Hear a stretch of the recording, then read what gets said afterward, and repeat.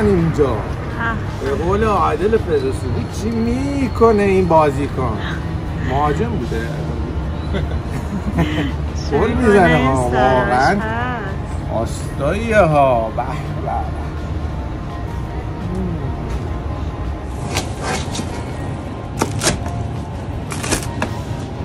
این خوشمزام دارم میرم تبدیل بشم به عطا بمبر خفن عطا بیج وای. خیلی خفن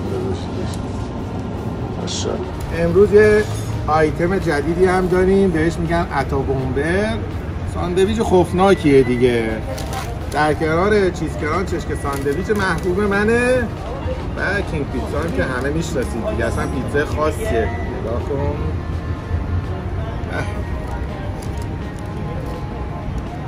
پیتزا سا. دور پیتزا رو با کراکوف تزیین می‌کنم. این کارن